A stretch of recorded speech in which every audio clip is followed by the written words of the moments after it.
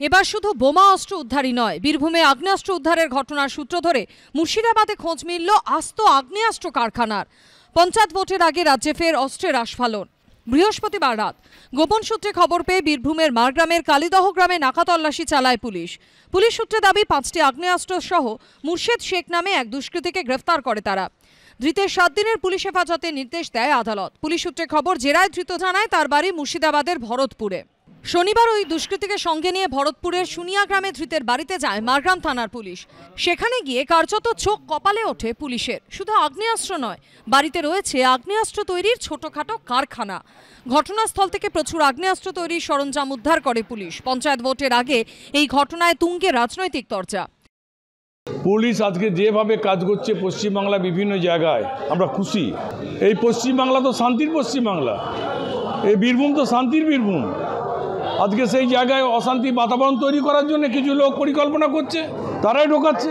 এই ধরনের ব্যক্তিরা আজকে বোম বারুদ তৈরি করার যন্ত্রপাতি নিয়ে এসে আজকে নিরাপদে আজকে তারা এই ধরনের কারবারি করছে। পুলিশের উচিত তল্লাশি চালিয়ে যারা এই ধরনের কাজ করছে তাদের গ্রেপ্তার করা। প্রাথমিক তদন্তে পুলিশের অনুমান পাচারের জন্য নিয়ে যাওয়া হচ্ছিল উদ্ধার হওয়া আগ্নেয়াস্ত্রগুলি।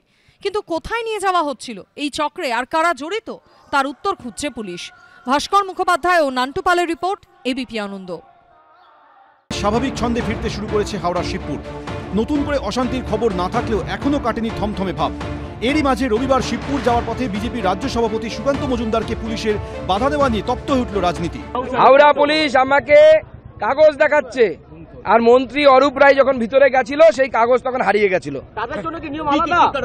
একশো চুয়াল্লিশ ধারা শুধুমাত্র বিজেপির লোকেদের জন্য। আমি এলাকা আমার বাড়ি। আমি এলাকার বিধায়ক।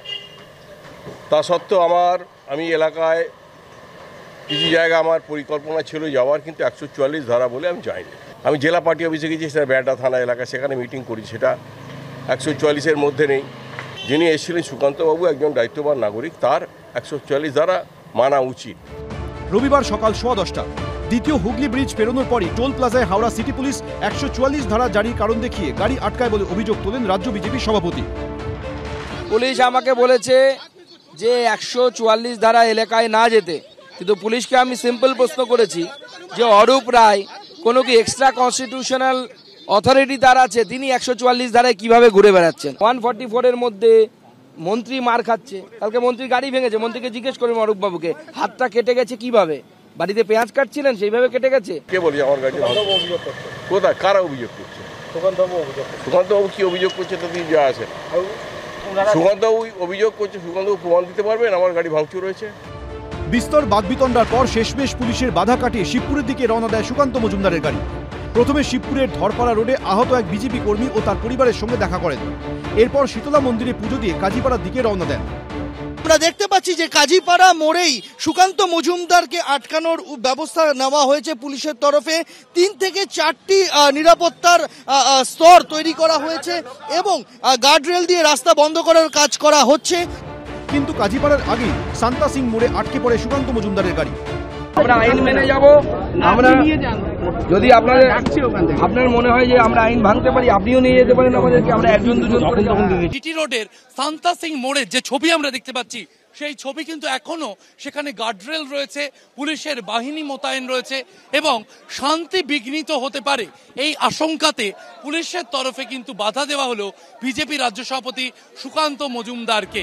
শেষমেশ কাজীপাড়ায় না গিয়ে কদমতলায় কুন্তল দাস নামে আরও এক আক্রান্ত দলীয় কর্মীর বাড়িতে যান সুকান্ত মজুমদার। পুরো পরিবারটাই ছেলের ভরসায় আছি। কুন্তলের মাথায় টিচ পড়েছে। কানে শুনতে পাচ্ছেন না চোখটাই দেখতে পাচ্ছে না। শিবপুরে অশান্তির ঘটনায় ইতিমধ্যেই তদন্তভার নিয়েছে সিআইডি। অন্যদিকে শিবপুরে কেন্দ্রীয় বাহিনী মোতায়েন ও এনআইএ তদন্তের দাবিতে কেন্দ্রীয় স্বরাষ্ট্রমন্ত্রী অমিত শাহকে চিঠি লিখেছেন রানাঘাটের বিজেপি সাংসদ জগন্নাথ সরকার। এদিন একই সুর শোনা গেল সুকান্ত মজুমদারের গলায়। ধামা চাপা দেওয়ার জন্য আবার কেন? সিআইডি আবার কি? সিআইডি তো দিদির পোষা কুকুর। অন্য কোনো এজেন্সি ঢুকে না পারে কোর্টে গেলে পরে ডিলে দেখিয়ে যে কোনো তদন্ত হচ্ছে না, এই অ্যাঙ্গেলে আমাদের উকিলরা যাতে সিবিআই না চেয়ে নিতে পারে এনআইএ যেন চেয়ে নিতে না পারে, এই জন্য তাড়াতাড়ি তড়িঘড়ি করে সিআইডির হাতে দায়িত্ব দেওয়া প্ররোচনার রাজনীতি করতে যাচ্ছেন, তৃণমূল চাইছে এলাকা শান্ত করতে। কারণ ওনারা একটা প্ররোচনার রাজনীতি করছেন। তো ওনারা আবার রাজ্যপালকে জানাবেন, একে জানাবেন, তাকে জানাবেন, আমি আবার বলছি, অমিত শাহ ওনাকে ফোন করেছে, শুভেন্দুকে ফোন করেনি। এটা হচ্ছে শুভেন্দু বনাম, অমিত শাহ, এই এই নাম কি সুকান্ত। তার একটা রেশারিসি রেশারিসি ফলে উনি এখন একটু বেশি উৎসাহ নিয়ে কুৎসা করতে আজকে বিজেপির সাংসদ তাকে ওখানে যেতে নাকি দেয়নি, একশো চুয়াল্লিশ। অথচ মন্ত্রী অরূপ রায়, তিনি ওখানে ঘুরে বেড়াচ্ছেন। এটা কি করে হয়? ফলে আসলে সরকার পক্ষপাত দোষে দুষ্ট। সরকার নিরপেক্ষ মনোভাবে চলছে না, যে কারণে সমস্যাগুলো ক্রমশ আরও বাড়ছে। শিবপুরে সাধারণ মানুষ চাইছে রাজনীতি থেমে পুরোপুরি স্বাভাবিক হোক তাদের এলাকা। সন্দীপ সরকার সুনীত হালদার শিবাশিস মৌলিক, এবিপি আনন্দ।